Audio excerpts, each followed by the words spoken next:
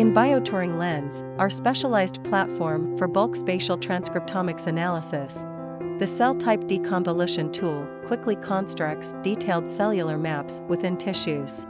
Currently, we support Cell2Location, including 11 tissue-specific and 1 comprehensive models for all tissues. These models categorize major cell types and subtypes. This is the result page of the deconvolution test. On this summary page, the first slide is the original slide of your tissue. The subsequent slides present deconvoluted cell types alongside the original.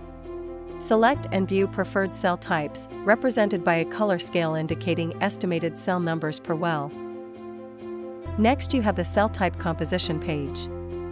Explore cell type compositions with up to four metadata fields for each cell type.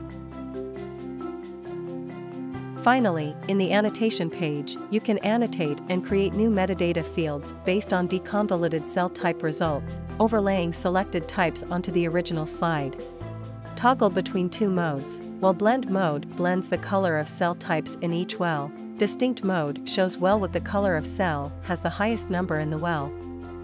Customize color display by excluding wells with low cell counts, up to 12 cells. Save results as metadata and name it for future analyses. We offer you three types of export, including Current image display on the screen. Deconvolution result table containing all the information related to the analysis. Convert result to metadata. Transform the deconvolution result for each cell type to a new numerical metadata. After creating, the new metadata will appear in Metadata panel.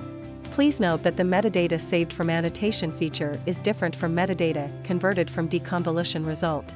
The deconvolution scores of all cell type are presented as numerical metadata, while metadata saved from annotation feature are categorical.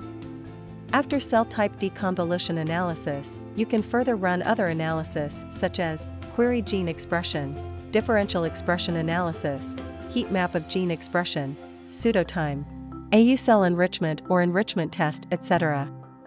We hope that you find this video helpful. If you need any further support, please contact us at support at bioturing.com.